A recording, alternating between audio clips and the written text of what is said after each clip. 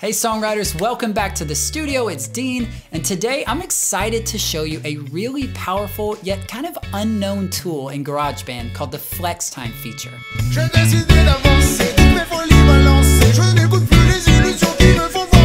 And in today's video, I'm actually gonna take you inside of a client's project and show you how I use the Flex Time feature in a professional production. So before I show you how to use the flex time feature, I just want to clarify what it is and what it does. The flex time feature allows you to adjust the timing of audio recordings. So that would be any microphones that you're recording through or any guitar or bass that you're plugging in. Basically any recording beyond your MIDI or software instruments because they have their own MIDI editor and their own time adjustment tools like the Quantize feature. So with that in mind, we're going to get into this project. So in the bridge, I have a drum drum and bass groove going. And since these are MIDI instruments, they are perfectly timed in line with the metronome. So I'm gonna let you hear that. Turn on the metronome.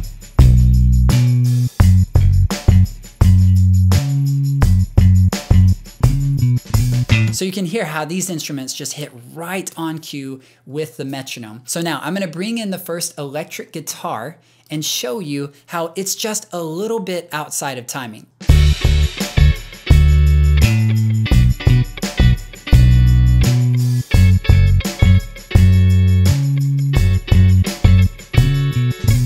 So they actually did a great job of recording this, but it's my job as a producer to help refine and really sharpen the timing so that everything's really tight and professional. So here's how we use the flex time feature. I'm gonna hit E on my typing keyboard to bring up the edit window, and then I'm gonna hit this little button right here, which is the flex time button. I'm gonna zoom out just a little bit so I can see each hit.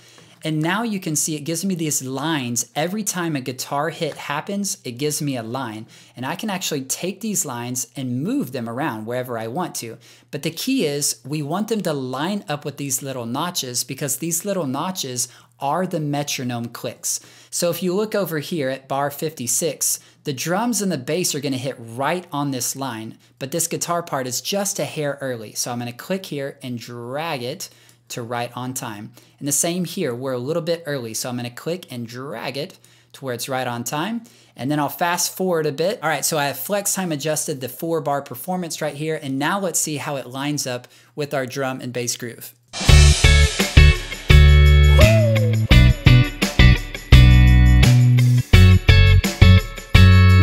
That grooves, right? All right, so as we move into the second half of the bridge, we have two new audio elements that get introduced. One is the acoustic guitar, and one is the vocal. And in both of these cases, again, they're recorded well, but the timing is just a little bit off. So let me play you the before.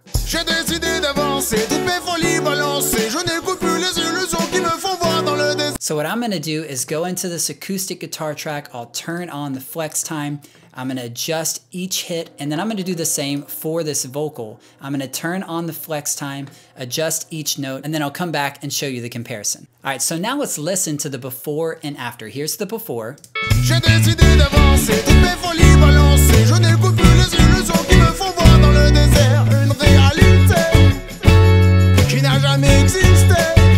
So not bad at all, but now let's listen to the version where I have used the flex time feature on the electric guitar, the acoustic guitar, and on the vocal.